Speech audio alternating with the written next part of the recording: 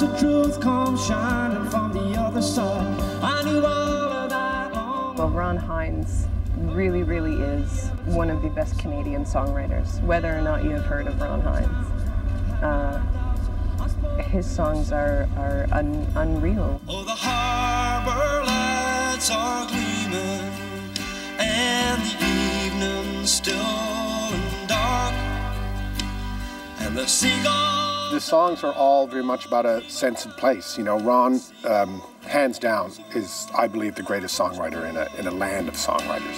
And the mist is slowly drifting. He became a mentor to a lot of us and, and, and like a kind of a, a god, you know, a legend that, that we try to aspire to, you know.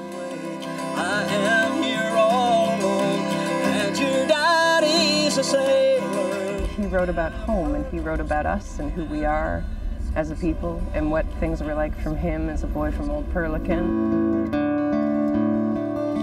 I love this house. When we moved in, I always tell people if you want to learn about Newfoundland and Labrador, you, you, you can just learn the Ron Hynes song catalog and you'll get a pretty good slice of it. Look at certain, you know, events that affected Newfoundland. I think of like the, the loss of the Ocean Ranger, which was a, an oil rig that went down on Valentine's. Ron wrote Atlantic Blue, and that is a song that takes literally takes your breath away, and it speaks to everyone, and it encapsulates how we felt when that happened and how we feel looking back. color there's a heartache.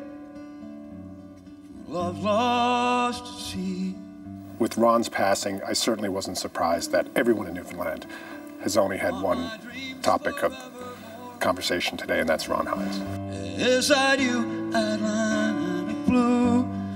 My heart is as cold, as cold as you.